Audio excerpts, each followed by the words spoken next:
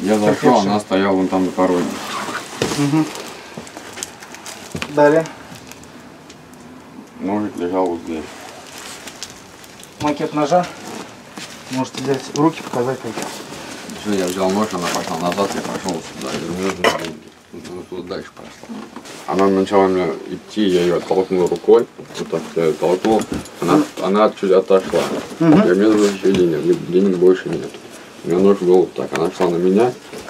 И в эту глубину живота я ей попал.